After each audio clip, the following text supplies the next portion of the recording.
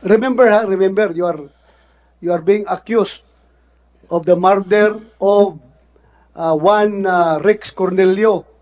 Pinatawag ako ni yung PD namin doon. Sinabi na tumawag sa kanya si Henry Tevez at saka ako ang ipadidiin na gunman sa ano sa pagpatay kay Rex Cornelio. There is a striking similarity uh, with Peñero. Dinedeny ko na tumawag tumawag Ngayon lang yan na nandiyan na siya. Huwag mo nga ako lukuhin, pinapaikot mo ako eh. tawag yung tu- tutulong Ngayon mo lang yan, ngayon lang yan ang isyo. Kanina ang isyo. Pinapakonfirm kita. Anong reaction mo sa sinasabi ni Torres? Deny ka ng deny. alam niya ni Kuya Pinheiro. Tapos sinabi niya sa akin, sabi ko nga sa kanya, wag, wag mong pag ano, bakit sinabi mo sa akin na inutusan lang daw siya pero hindi siya kasama doon sa bumaril talaga. Siya, Sinabi ni Peñero sa iyo yan? oh, sinabi niya, hindi lang ako yung nakinig. Inutusan lang siya? Inutusan lang siya, siya lang yung lookout, nandun lang daw siya sa sasakyan. Tapos yung, yung sina, nagsabi na siya kung sino yung mga kasamahan niya, yung si Sunny Lazaro, siya yung in charge sa GSO, kung hihiram ka ng sasakyan, dun ka mag-ano sa kanya. Tapos si, si Sunny Lazaro, si Kent Martinez po, head yun ng GSO. Hindi kasi namin alam lahat ito. Hindi namin alam kung hindi So siya yan ang sinabi sa amin. ni Peñero sa iyo. Opo. Ano? No, Your Honor. Ha? Hindi, hindi yan. Huwag kang mag-smile sa akin, hindi ako natatawa. Yes, Ha? Your Honor. Hindi ako masaya sa Yes, Your mga Honor. allegation na ito. Huwag kang mag-smile-smile dyan dahil ah, Pwede siya hindi nakakatawa itong sitwasyon na ito. Mr. Chair, Yan, dali lang, sandali lang. Kinukuha ko lang yung kwan, reaction niya. Ano, Hindi, totoo yan, Your Honor. yung sinasabi niya, hindi totoo. Yes, Your Honor. Kasi, Sige, pareho, ganito ha, Miss, ah, yes po. pareho kayong under oath. Yes po. Pag may ma-discover ako dito, one of you is lying, ipapakulong ko kayo sa silong Yes, ha, sa okay baba. lang ha? Andito ka pala. Bakit hinanap kita kayo na wala ka? Ha? Nasa labas ka. So ito, babalik na naman to kay Pinheiro. Ha? Pi- Narinig mo yung sinabi ng kanina? Na ikaw daw, siya daw yung go-between go between mo and Pinheiro. Kaya kinunta ka niya na para tulungan si Pinheiro dahil uh, Yes, that's correct. you, Your- you, you, Honor. you, you, kan, sige. Yeah, as I've uh, mentioned in the previous hearing, Your Honor, ah, tinawagan nga ako ni Katie, tapos ah, pumunta ako sa kanila at na-meet ko si Pinheiro. Nabanggit ba mo bang pangalan ni Katie Lastiring? Ah, I only mentioned a common friend, Your Honor. Common friend. Yes, to protect her identity. Pero yun nga, may Ang- nangyari nga. Ang galing naman yung mga gunman. Na-identify kagad nila kung sino yung sino yung common friend ninyo at in-stopping kagad ang bahay after Mismo the si, after si Sergeant the Pinheiro, Your Honor, ah, knows what I'm referring to. Kung sino yung ah, common friend. Alam niya kasi nakita man talaga kami doon eh. So ito ngayon, gusto kong maklaro ito kay Pinheiro. What's the real score? Ah, hanging ba? Hanging. Hanging pa ito eh. Yes, sir. ano ba talagang The real totoo? score, sir, is Sabi niya, hindi daw, ah, basta he's denying everything and ah, hindi daw, sabi mo, lumapit ka, ah, naghanap ka ng linya dito para kay Tolentino, Colonel Tolentino, para magpatulong ka. Tapos, totoo yan, hindi? so, Your Honor. No. Kasi, Your Honor, at the time na nalabasan ako ng order No. na para sa Inserpio, tumawag yung ano niya. Dali lang. Paano ka nga ba nalabasan ng order? Yun ang tanong. Hindi ko alam, sir. Ha? Hindi ko alam. Ikaw, masabi mo, may alam ka? Paano Wala rin ito nalabasan alam, ng order? Your Honor. Ah, nag-umpisa lang yung participation ko nung tinawagan ako ni Kete na ano, nandun, nandun nga si Pinheiro sa kanila. So, dumiritso ako doon. Instead na dumiritso sa bahay, dumaan ako doon at I met Pinheiro there. At yun nga, yung sabi ni Kete na may problema siya, sinabi sa akin, that's why I called up ah, Colonel Banson, who, is, who was then the PD that time. So, Pinheiro, ulitin ko. Nagkausap kayo. Yes, sir, nagkausap kami. Kasi, Ah, yun naman pala eh. kasi- Kasi, sasabi mo, hindi ka nag... Kasi hindi sir, ka nag, hindi ako ang tumawag sa kanya. Paano? si- Sige si- magsabi ka ng totoo. Si Michael Michael Sin, sir, isa Ha? ding isa ding pulis, sir. Siya ang tumawag sa akin na at time, the time na yon na oh, nalabasan ako ng order. Na, nag-miss call. Nag-miss call siya kasi Oh. gusto daw akong kausapin ni Colonel Tolentino at ano, tutulungan niya daw ako. tutulungan ka niya. Oo. Kasi galing pa siya sa So, ano, sir. na- Which, which is which? Ganito. Sige nga. Siya ang nag-una nag ah, contact sa'yo para tulungan ka niya o ikaw ang pumunta doon kay Torres humingi ng tulong si Torres ang nag-contact kay Colonel Tolentino. Sa ano totoo ngayon? Nagkausap kami, sir, ng Imagine, ah, remember ha, isa ka, sila tatlo. Three against one. Yes, Honor. Ha? Sila tatlo nagsasabi against your word. Ah, tapos ngayon nagbago na nagbago ka na. Sabi mo kanina wala wala kayong ginawang pag-uusap. Ngayon nang nandiyan Hindi, na si hindi. Tolentino, nag-usap na Hindi pala ako kayo. ang ano, hindi ako humingi ng tulong sa kanya. Bakit? Eh, Wala naman akong ano sir.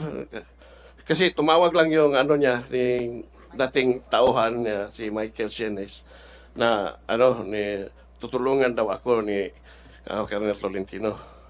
Remember ha, remember you are you are being accused of the murder of uh, one uh, Rex Cornelio.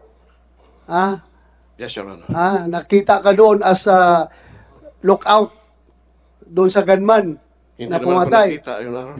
Ha? Wala naman anong nakita ako. Walang ano. Nakita sa ano, sa... Wala naman akong kinalaman sa ano. Wala nga, pero investigahan ka nga eh. Kaya ka nga na-relieve doon, di ba? Kaya ka nga na-relieve doon dahil implicated ka sa kaso na yon. Huwag kang pamangmaang dyan. Yes, sir. Yes, sir. Ha? Ta- ta- Yes, sir. ako, ha, ako, hindi ako magagalit kapag ah, nagsasabi ka ng totoo. Ako, wala akong pakialam kung kaninong side ka. Ha? Saan ka nagsaside dyan? Basta ako, sa katotohanan ako. Nagagalit ako pag sinisinungal, magsisinungaling ka sa akin. Yes, Ha? Your Honor. Dati kang pulis, di ba? Yes, Your Honor. O, nag-reti- nag-resign ka na o nag-retire ka? Nag-retire na. Nag-retire ka. Uh, you must be consistent with your statement. Huwag yung ah, pabago-bago. Ngayon, nag-usap pala kayo. Kanina, dinideny mo na hindi kayo, wala kayong usapan. Ang dinideny ko, Your Honor, yung na ako ang tumawag na magpatulong sa kanya. Yun ang dinideny ko. Ha? Yun ang dinideny ko, Your Honor. Na, tu- kasi tumawag kasi pag yung nilabasan ako ng order, tumawag din si Michael Sines sa akin yung ah, dating tawa niya na gusto kong kausapin ni Colonel Tolentino. Kasi Oh. tutulungan ako. Okay. And then, pagkatapos, tumawag siya na, kasi galing pa siya sa Region 6 uh, mission, pauwi, magkita daw kami sa, ano, sa bahay nila ni Kitty. Okay. Uh, then, doon, pagkagabi, doon ako naghintay, kita kami doon. So, kinonfirm mo yan. Confirm mo yan, Colonel Tolentino. Yes, sir. Ah, Ha? Totoo yan, sir. Doon Na- nga kami nagkita, kinakiti, sir. Yung tumawag si, sino yun? Michael Sienes, yun. Michael Sieres na tutulungan daw, tutulungan daw siya ni, ni Colonel Tolentino. Tumawag si Michael Sienes, sir. ah, ah, nagsabi sa akin na nanghingi na ng tulong dahil sa problema niya. It so happens, sir, tumawag din si Katie. So doon na kami nagkita, sir. So, which is which? Eh, Totoo, sir. ah, naalala ko na ngayon, sir, tumawag si Michael Sienes sa akin.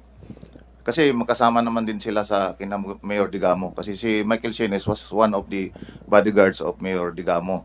Saan na Well, yung sinis ngayon? Ah, hindi ko na alam saan na-assign, sir. Wala, wala na siguro sa kanila, sir. Pakuha mo? But anyway, mo? sir, yung pag Pahanap yung kung pagtawag ni Michael Shines sa akin, timing din na tumawag din si Kitty, sir. So, yun nga, sir, nagtagpo na kami sa kina Kitty. So, doon ko na siya nakausap, sir, kina Kitty Torres. And then, Totoo yan, nag-usap kayo doon sa bahay ni Kitty. Yes, Your Honor. Ha? Yes, Your Honor. At saka yung ano, pa, Sandali, totoo yun. Pumunta ka doon yes, sa ni Kitty. yes, Your Honor. Doon ako naghintay kasi pinahintay ako doon. Sabi ni Michael Sines na maghintay ako doon sa kasi Eh bakit ganyan? Deny ka ng deny. Nung tinatanong kita, kinukonfirm mo ba yung sinabi ni Torres? Sabi Hindi mo, no, naman. your honor, patawa-tawa ka pa sa akin. Di ba, nagalit ako kanina. Hindi. Na huwag ka patawa-tawa sa akin dahil ah, seryoso ito. yung Tapos yung, ngayon, nangyari pala yun. Nagpunta ka pala sa bahay nila, nag-usap kayo doon. yung dinideny ko Your Honor, yung, Ha? yung pinatawag, yung tu- tutulong. Ngayon mo lang yan. Ngayon lang yan ang issue. Kanina ang issue. Pinapakonfirm kita. Anong reaction mo sa sinasabi ni Torres? Deny ka ng deny. Tapos ngayon, maghanap ka ng ibang alibay. Hindi, Your Ha? Hindi, Your Honor. Ayaw kong Yung ah, totoo, ah, ayaw yung kong, sinasabi ayaw ko, Your kong Honor. magsinungaling ka dito dahil in fairness doon sa ibang pulis na pinakulong ko, pinasight in contempt ko, akala mo bang hindi ko kayang gawin sa iyo yan? Gagawin ko sa yan. Kaya pag na-prove kita dito na naglalay ka, ha? Gusto mo i-play ko ulit yung tape? After nagsalita siya? Yes, Your Honor. Na, Sinabi ko, anong, anong kuha mo dito? Anong reaction mo dito? na hindi totoo yun. Di, hindi totoo yun, Your Honor. Di ba? O niya ngayon, aminin mo na na nag-usap pala kayo doon sa bahay ni Kitty. Kasama si Tolentino. Kasi yung ano, ano Your Honor, yung uh, din- din- dinideny ko na tumawag, tumawag. Ngayon lang yan na nandiyan na siya. Huwag mo nga ako lukuhin, pinapaikot mo ako eh. Kanina Ha? yun, Your Honor. Ngayon lang yan, dinideny mo. Pero yung denial mo kanina, nung nagsabi si Kitty na humingi si ka ng tulong sa kanya, deny ka ng deny. Hindi kayo nag-usap. Sabi mo, di, deny ka ng deny. Tapos ngayon, nag-usap pala kayo doon. Yan nga, Your Honor, hindi nga ako na uh, nangayo og kwan, pabor nila nga.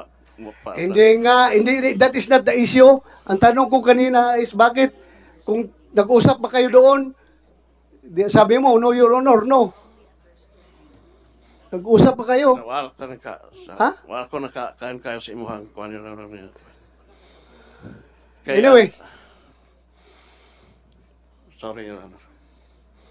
wag, wag tayo magsinungalingan dito ha dahil ah, mahaba ang panahon na ginugol natin dito tapos mapupunta lang tayo sa wala dahil ah, magsisinungaling tayo. Ha? Yun pala eh. So nag-usap kayo doon. Ano na pag-usapan nyo? na tutulungan Sa daw ako, niya?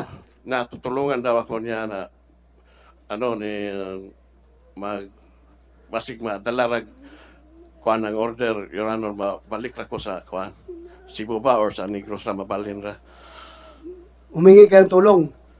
dili Ah, siya nagsabi? oh siya nagsabi your honor Tapos, motong pagka ugma ah, pagka the next day your honor nakita nakita kami sa ano sa Darwin Beach Resort together with Colonel Tolentino, Colonel Banson, and Colonel Peralta, Your Honor. tapos, Sabi niya, nag, nagsabi, sinabihan ako sa, sa ano, Your Honor, uh, yung sa kaso, Your Honor, yung sa pagkapatay kay Rex Cornelio. oh, ano na pag-usapan nyo? Sabi ni, ano, ni Colonel, Colonel Peralta, Your Honor, at the time. Ha? Colonel Peralta, Your Honor, at the time. Oh, sabi niya. Ano, uh, alam na namin kung sino ang pumatay kay Rex Cornelio. Okay. Yung affidavit mo na uh, pipirmahan, parang ano lang yun, yung sa'yo, icing lang yun. Parang kung sa Hmm. cake pa lang, icing lang yung ano. Okay. Yung ano. Then, wala mo ko kuan na sir kay wa mo ko ka wa mo ko kabaloan na sa kinsay ga kuan kinsay ga buhatan nag posilaan ng kuan pero your honor at the time nga namatay si Rex Cornelio after five days pinatawag ako ni yung PD namin doon si, si Colonel Intuma Mm. na alas 8 ng gabi. Sinabi na tumawag sa kanya si Henry Tevez at saka ako ang ipadidiin na ano no na gunman sa ano sa sa pagpatay kay Rex Cornelio. Alam mo, nakita ka doon sa CCTV, di ba? Hindi sir, Ah? wala naman ako sa CCTV. Naki- nakita ka na ah, yung kotse ng Kapitolyo. Hindi naman ako yung nasa CCTV, Your Honor. Paano ka nadamay dito sa kaso? Yan nga ang sinabi ni ano, Colonel- Saan ngayon si Kwan? Yung asawa ni Rex Cornelio? Andyan, asawa ni Rex Cornelio. Para asawa ni Rex Cornelio. Nandyan yung nakita ko kanina. Papahanap nyo? Yes. Sir, baka nandito si Colonel Huesca kasi siya yata yung nag-imbestiga that time. Baka masagot na yung mga katanungan, Your Honor. Colonel Luis ka. Huis ka. Colonel Luis ka. Dito ka. I will not leave uh, this uh, issue hanging. Ayo, ta- tapusin natin to bago ako mag-move sa next uh, next case. Nakaswear ka na. Yes, Your Honor. Sige, upo ka. Thank you, Your Honor. Ano yung nalalaman mo sa kaso nito? Uh, Your Honor, based on the thorough investigation conducted by the SITG Pipino and the pieces of evidence that we acquired, uh, retired Pems Peñero is considered as one of the suspects. Why? Uh, based on the pieces of evidence, Your Honor. What evidence? Uh, statement of the witnesses, uh, backtracking of CCTV cameras Nakita siya sa CCTV. during the planning stage, Your Honor. Planning stage. prior to the commission of the offense, Your Honor. How, how prior? How how proximate? Ilang oras? Uh, I think, based on my recollection, Your Honor, uh, two days before the incident. And Your Honor, uh, aside from that, we apply for a warrant to disclose computer data on the communication uh, inform, uh, communication data, Your Honor. Sige, yung, yung, pareho man tayong pulis, pareho tayong pulis. Yes, uh, Your you Honor. convince me. Paano mo na-implicate si Pinero? Ikaw man nag-imbestiga. Uh, Anong ebidensya? Uh, number one evidence is testimony of the witnesses. Sinong witness yun?